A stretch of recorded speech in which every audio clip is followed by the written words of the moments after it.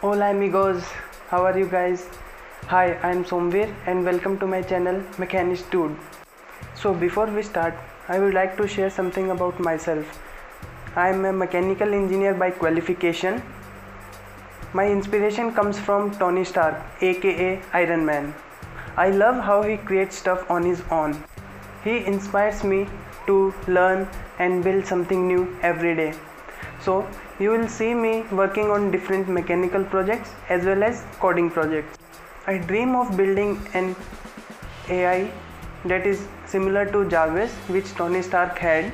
So, I started learning coding about 7 to 8 months ago. And this lockdown provided me a perfect chance to enhance my skills and learn something new. So, today I am going to guide you through my first program that I wrote this program uses deep learning algorithms to classify sentences as positive sentiment or negative sentiment. Let's have a look. So, in this video, we are going to use the concepts of NLP to create a machine learning model so that the sentiment of the tweet can be analyzed.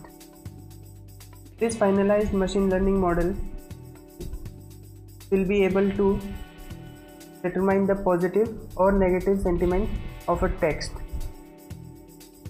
This video will only focus on building the model and by the end of this video we will have a basic idea of sentiment analysis. In this model we are going to use LSTM long short term memory approach of RNN to build this model.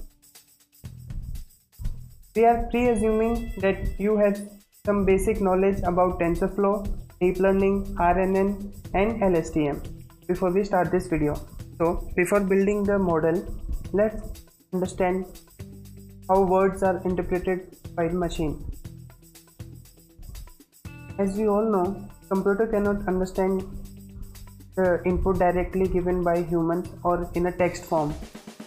So it uses tokenizer to convert the strings into integers. The process of taking out tokens out of the sentence is, co- is called tokenizing. Tokens basically mean the individual words in the sentence. For example, if we have a sentence, I love my cat, then we will have four tokens as I, love, my, and cat. The tokenizer then converts these tokens into sequences of these extracted tokens into integers and each word is given its individual word index.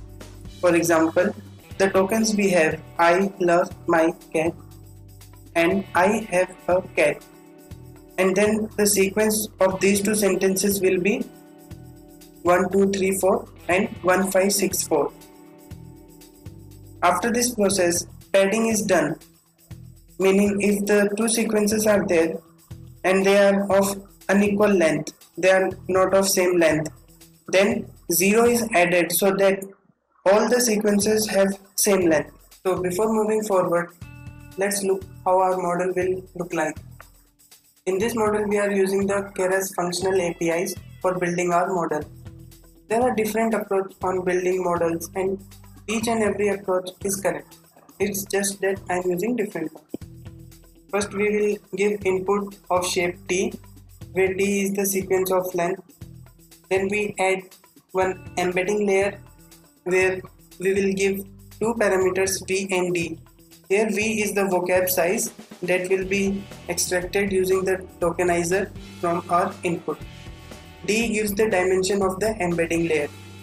So next layer we are using is LSTM with m parameter. m gives the dimension of the LSTM layer. After this layer we are using global max pooling layer. Basically what global max pooling layer does is it downsamples the input so that it is easy to take the desired output. At the last we will use dense layer with A classes and sigmoid as an activation. We are using sigmoid because we are doing a bi binary classification so it is conventional to use sigmoid in binary classification. So next we are going to see the workflow of the model. One of the best thing about machine learning models is that every model almost every time follows the same steps.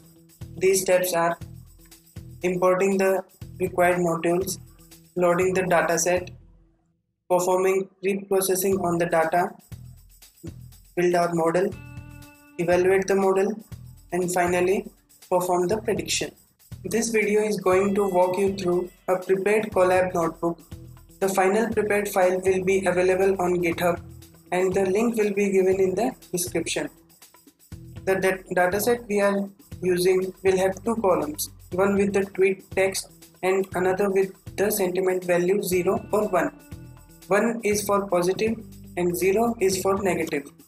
Here we have dataset on our Google Drive so we import drive from google.colab and use the mount function to mount our drive with the file location as slash content slash drive slash. If we run this, it will send an authorization code on your email and you can copy paste the code using the link given in the snippet. And if we run it, we will get the link. When we click on this link, it will ask you to sign in your account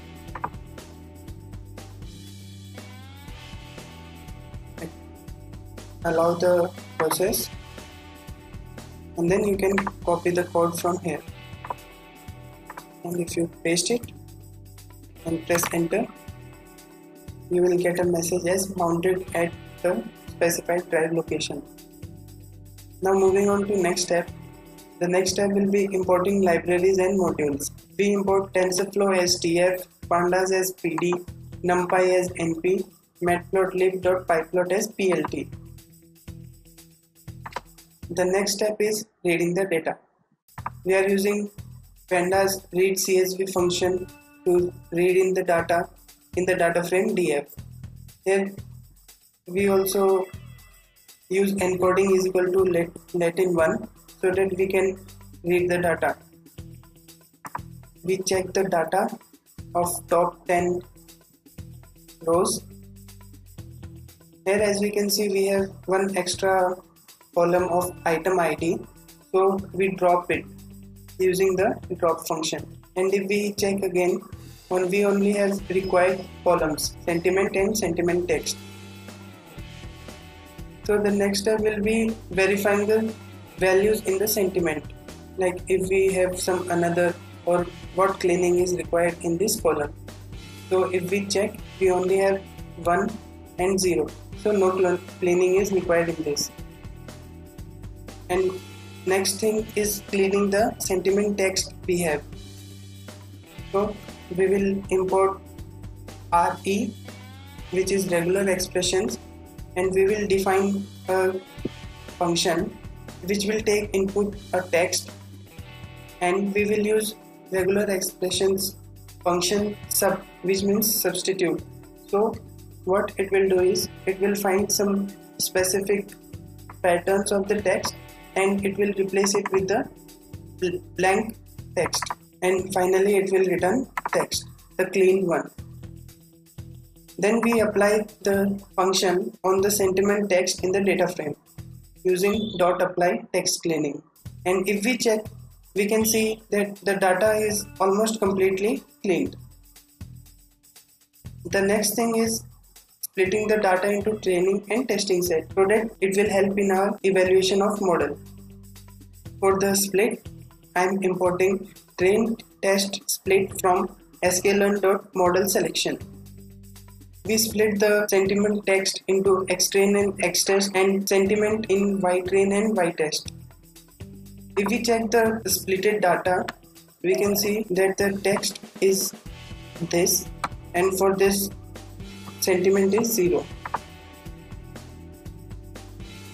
Now as our text is clean, we will convert the strings into integers and we will take help of tokenizer.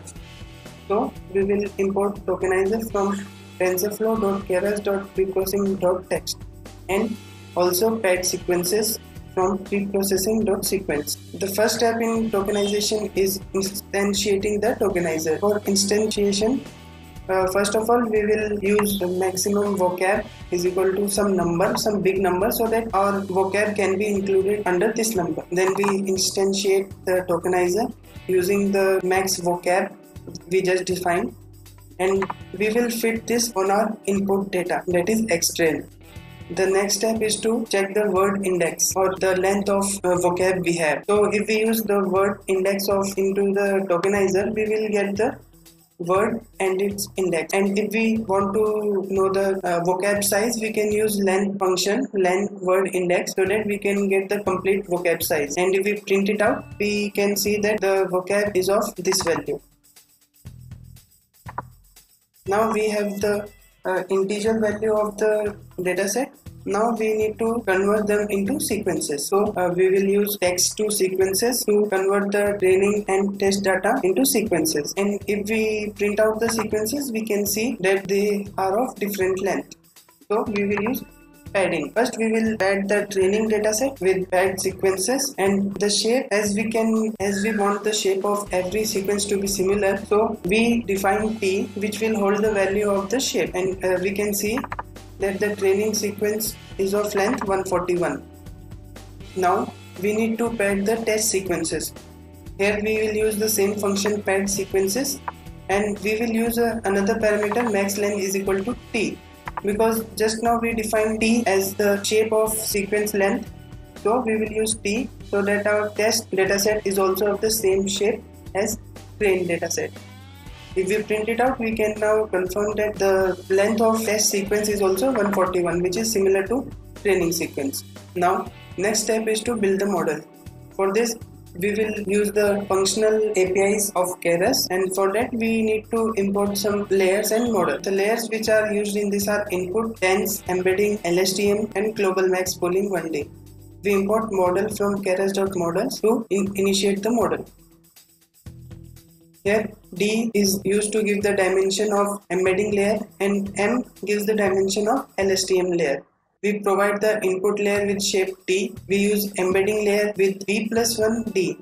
Here we are using V plus 1 because the word index starts from 1 not 0. So if the final index is V then the length of the sequence will be V plus 1. So we are using V plus 1. Then we use LSTM layer with M and here we are also using return sequences is equal to true. We provide one global max pooling layer, one dense layer with 32 neurons and we are using activation relu. Then finally we use dense layer with one class because we are finding the probability of the sentiment to be negative or positive and as this is a binary classification we are using sigmoid activation. Now we are giving the input and output to the model so that our model can be initiated. Now next is compiling the model. We are using Adam optimizer, binary cross entropy loss as this is a binary classification and accuracy as metrics. Now we fit the model on our padded train sequence and by, by train we will use the validation data as padded test sequence and by test and we will run it for two epochs. It will take a lot of time depending on the speed of your processor, what runtime you are using. So I'm using two epochs. In two epochs only I can see that we get 81% validation accuracy and 83% accuracy. Now next step is to evaluate the model. In evaluating the model, we know that model.fit function returns an object that contains the data from training process. So we use pyplot to plot the loss, validation loss in a graph. As we can see, the loss is decreasing but validation loss is almost constant, which is not bad for our model. Next, we plot the accuracy and in the graph also we can see that the accuracy is increasing but our validation accuracy is not increasing at a large scale but it is still increasing now the last step is to predict the sentiment of a given text. So for that we define one function predict sentiment which uses text as an input. This input is given from the user and internally it will convert this text into sequence. It will pad the sequence so that it will be with the same sequence length of the training data. Then we use model.predict and we use round so that we can get the integer value of the prediction. As we know, if our prediction is 1, we have a positive sentiment and if our sentiment is 0, we have negative sentiment. So here I am using a sentence for example, I feel happy. So if we give this input to predict sentiment function, it will provide result and result in this case is it is a positive sentiment and we can see that the sentence is positive indeed. The final stage will be saving the model. As we have completely trained the model, so we can save this model using model.save so that we can use this in the future applications. And this model.save will create HDF file for our model. Thank you guys for watching my video. If you loved watching it, you can like it and please subscribe to my channel for future updates. Thank you.